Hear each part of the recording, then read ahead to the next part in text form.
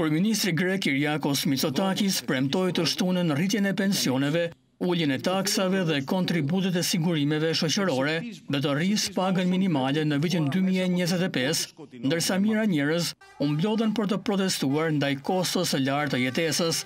Në fjalimin e tij vjetor të politikave ekonomike, Në panairin tregtar të Selanikut në Greqinë veriore, ai tha se Greqia do të krijojë më shumë vende pune, do të rrisë pensionet deri në dy pikë pesë për qind në vitin dy mijë e njëzet e pesë dhe do të rrisë pagën minimale mujore nga tetëqind e tridhjetë euro në nëntëqind e pesëdhjetë euro gradualisht.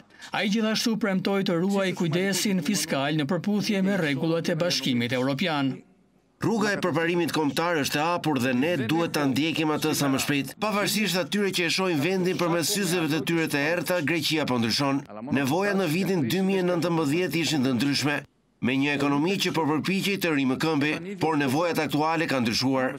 Ajo që kërkohet tani është intensiteti i zhvillimit. Po aq e rëndësishme është edhe rishpërndarja e saj e balancuar.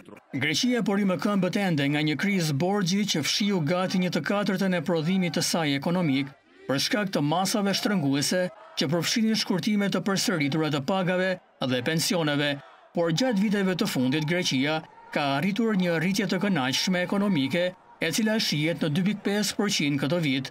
Jashtë vendit ku mbahej fjalimi i kryeministrit grek, mijëra njerëz u mblodhën duke brohoritur dhe duke mbajtur pankarta ku shkruhej Jo pagave të urisë dhe Ne mund të jetojmë më mirë.